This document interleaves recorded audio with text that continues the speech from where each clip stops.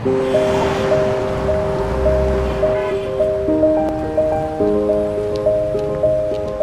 name is Tsegereda, and I'm a student practicum nurse at Bow Valley College.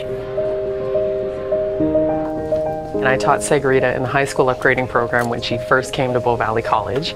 I can tell you this, she has worked very hard and she's come a long way in a short period of time.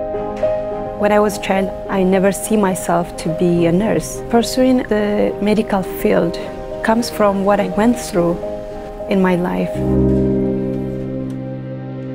I am from Eritrea, which is located in East Africa. I was about 18 years old and I started to see some young adults taken out from their own home and became a soldier. That is what has forced me to leave my country. I had to work for 10 days without food.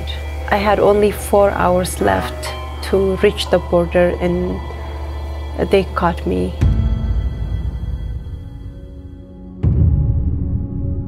When I was in prison, I started to get sick. Half of my body was completely paralyzed. I had to be hospitalized. And I started to see how the people, especially the nurses, were helping me. And I decided, you know, I want to be like them one day.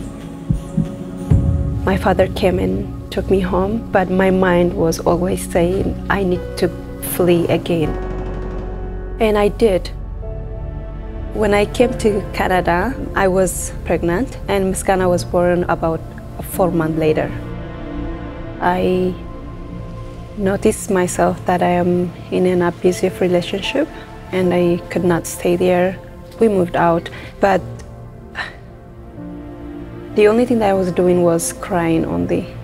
But then I started to see my child. What am I doing? What am I showing her? I need to change myself and be a role model for her. And I decided to go back to school. When I start going to school to improve my English, I start to see a little bit of hope. As soon as I finish my upgrading as well, I decided to go for nursing program. Our learners face so many barriers coming into our programs, and one of the major barriers is affordability.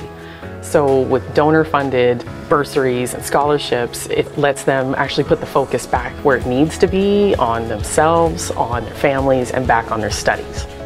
The first awards that I got was the Academic Achievement Award. It inspired me and motivated me to keep on working hard. The Thousand Women Rise Childcare Bursary had helped me to pay my childcare we hear all the time that awards have a huge impact on the students' lives. It's not just the financial aid, but it is the boost to their self-confidence and their self-esteem. They just blossom. What I admire most about Tsegereda is that she decided to come back and do this not just to better her chances, but to do this for her daughter as well. I'd like to finish my program by April 2018. I'd like to work as an LPN and then I would like to continue my education for a registered nurse. I just cannot explain how I feel about people that I, they don't even know me, I don't even know them, willing to help women like me. It feels great, it feels amazing. I would like to say to my donors, thank you, a big thank you.